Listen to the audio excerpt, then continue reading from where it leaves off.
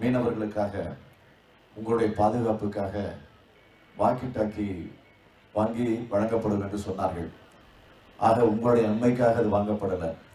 அவர்கள் ஊழல் செய்வதற்காகத்தான் அந்த வாக்கி டாக்கியை வாங்கியதாக ஒரு அறிவிப்பு வெளியிட்டார்களே தவிர ஆக அது எந்த அளவுக்கு உண்மை என்பதை நீங்களும் தெரிந்து கொள்ள வேண்டும்.